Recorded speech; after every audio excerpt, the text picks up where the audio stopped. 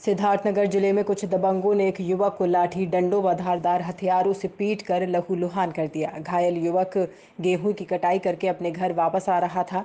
मामला खेसरहा थाना क्षेत्र के कलनाखोर गाँव का है। घटना की वजह पुरानी रंजिश बताई जा रही है। घायल युवक का इलाज मेडिकल कॉलेज सिद्धार्थनगर में हो रहा है, जहाँ उसकी स्थिति गंभीर बताई जा रही है। घटना के बारे में पीड़ित युवक के भतीजे संजीव यादव ने बताया कि उसके चाचा गेहूँ की कटाई करके दोपहर बाद घर लौट रहे थे कि तभी गाँव के ही निर्मल पासवान मिलन पासवान ने अपने अन्य रिश्तेदारों के साथ मिलकर धारदार हथियार से उन पर हमला बोल दिया। मेरा नाम गोलू यादव उर्फ़ संजीव यादव है। मैं कलनाखोर का निवासी हूँ। अच्छा ये मेरे चाचा जी हैं।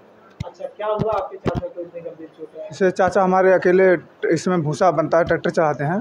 तो अकेले अपना ट्रैक्टर लेके आ रहे थे ये लोग गुटबंद होके बिल्कुल योजनाबद्ध तरीके से चारों तरफ़ से घेर के अपना जो इन पे वार कर दिए धारदार हथियार भाला फरसा लाठी डंडा जो भी था मतलब योजनाबद्ध तरीके से इन पे वार किए हैं। बिल्कुल।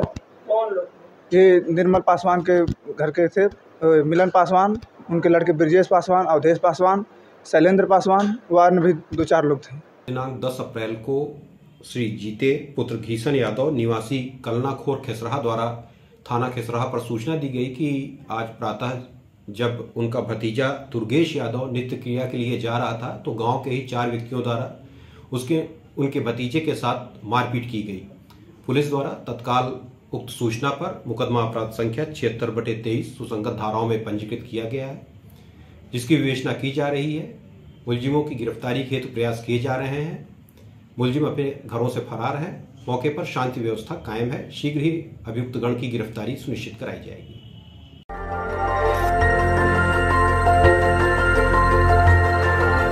देखते रहिए डीबी भारती समाचार नज़र हर खबर पर।